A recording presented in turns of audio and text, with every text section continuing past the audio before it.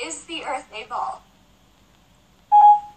A ball? Heavens no. How could you live on a ball? That doesn't seem possible. The Earth is clearly flat.